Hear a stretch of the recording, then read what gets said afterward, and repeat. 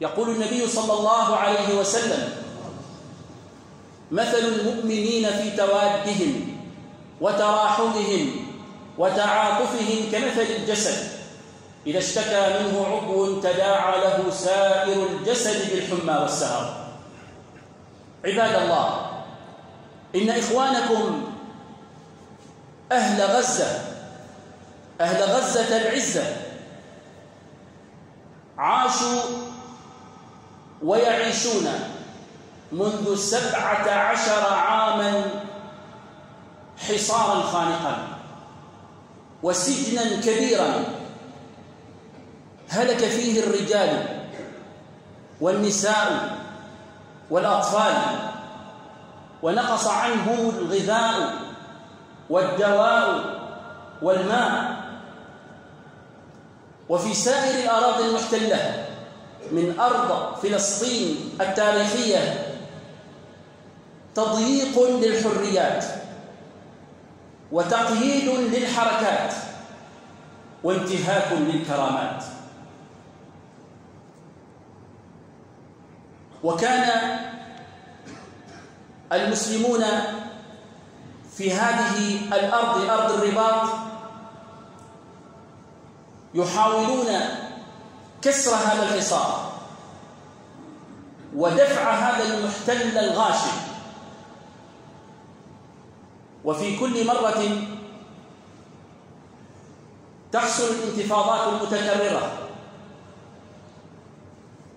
ويسكب فيها هؤلاء الأبطال دماءهم ويذيقون العدو بعض ما يستحقه إذا بالعالم ينتفض ويستيقظ لكن بذرف بذرف دموع التماسيح على الكيان الغاصب وبتقريع الضحية وبلومها.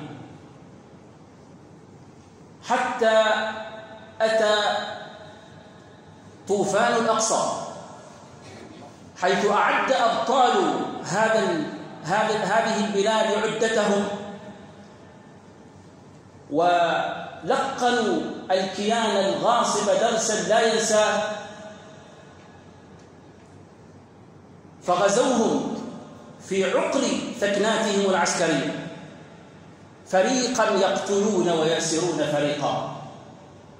وفر البقية هائمين على وجوههم. تاركين غنائمهم لجند الله الأبطال. كأنهم حمر مستنفرة فرت من قسوة. وإذا بهذا الكيان الغاصب الذي أدرك مغبة ما وقع فيه وسوء ما أحدق به إذا به يستنجد يستنجد بقوى الكبرى العالمية. محاولا. استرداد قوته الموهومة أمام العالم. ورد بعض كرامته الممررة في الرغام على أيدي هؤلاء الأبطال. وهيهات أن يرجع الأمر كما كان من قبل.